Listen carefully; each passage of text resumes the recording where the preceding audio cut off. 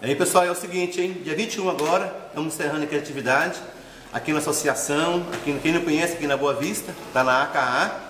E estamos terminando aqui com uma grande festa, vai ter várias atividades aqui no dia 21.